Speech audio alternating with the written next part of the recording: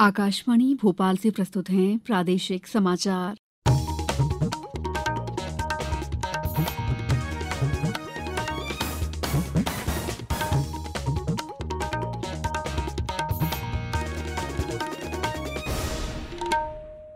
नमस्कार समाचारों के साथ मैं दीपा सिंह। सबसे पहले मुख्य समाचार। उपराष्ट्रपति जगदीप धनखड़ 18 सितंबर को एक दिवसीय प्रवास पर जबलपुर आएँगे। राष्ट्रीय परीक्षा एजेंसी द्वारा ली गई संयुक्त विश्वविद्यालय प्रवेश परीक्षा के परिणाम आज घोषित होंगे। प्रदेश में पहली बार 24 घंटे इंदौर में खुलेंगे बाज़ार और नेशनल यूथ एथलेटिक्स चैंपियनशिप का आयोजन 17 सितंबर से भोपाल में। अब समाचार विस्तार से। उपराष्ट्रपति जगदीप धनखड़ 18 सितंबर को एक दिवसीय प्रवास पर जबलपुर आ रहे हैं। उपराष्ट्रपति बनने के बाद ये उनकी प्रदेश की पहली यात्रा है। उपराष्ट्रपति गोंडवाना साम्राज्य के शासक और अठारह सौ सत्तावन की क्रांति के वीर नायक अमर शहीद राजा शंकर शाह को रघुनाथ शाह के बलिदान दिवस पर आयोजित कार्यक्रम में शामिल होंगे। उपराष्ट्रपति जस्टिस जेएस वर्मा स्मृति व्याख्यान के साथ साथ अन्य कार्यक्रमों में भी शामिल होंगे। प्रधानमंत्री नरेंद्र मोदी के 17 सितंबर को श्योपुर ज़िले में होने वाले कार्यक्रमों की तैयारियों की समीक्षा करते हुए मुख्यमंत्री शिवराज सिंह चौहान ने कहा है कि बारिश की संभावना बनी हुई है, इसलिए प्रधानमंत्री नरेंद्र मोदी की उपस्थिति में कुनू राष्ट्रीय उद्यान के होने वाले कार्यक्रम और कराहल में सहायता समूह के सदस्यों के सम्मेलन की तैयारियाँ मौसम के मद्देनजर की जाएँ। मुख्यमंत्री ने प्रधानमंत्री को सहायता समूहों की गतिविधियों से परिचित कराने के लिए समूहों के उत्पादों को प्रदर्शित करने और समूह के सदस्यों से संवाद की व्यवस्था करने के भी निर्देश दिए। राष्ट्रीय परीक्षा एजेंसी द्वारा ली गई संयुक्त विश्वविद्यालय प्रवेश परीक्षा के परिणाम आज रात दस बजे घोषित किए जाएँगे। ये जानकारी विश्वविद्यालय अनुदान आयोग के अध्यक्ष प्रोफेसर एम जगदीश कुमार ने दी।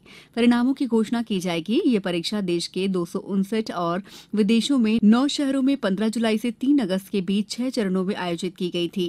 केंद्रीय विश्वविद्यालयों के स्नातक पाठ्यक्रमों के लिए हुई इस परीक्षा में चौदह लाख नब्बे हज़ार प्रत्याशियों ने पंजीकरण कराया था। मध्यप्रदेश विधानसभा का सत्र आज तीसरे दिन ही समाप्त हो गया।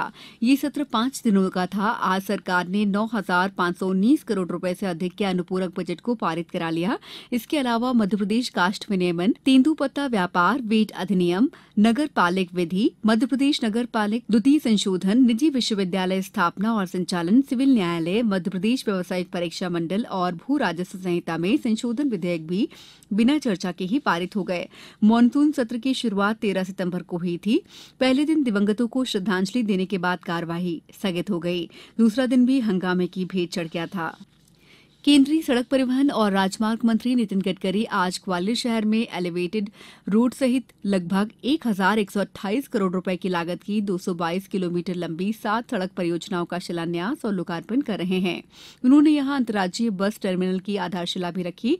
समारोह में मुख्यमंत्री, केंद्रीय कृषि और किसान कल्याण मंत्री नरेंद्र सिंह तोमर और केंद्रीय नागरिक उड्डयन मंत्री ज्योतिरादित्य सिंधिया भी मौजूद हैं।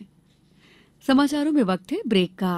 ब्रेक के बाद समाचारों में आपका एक बार फिर स्वागत है।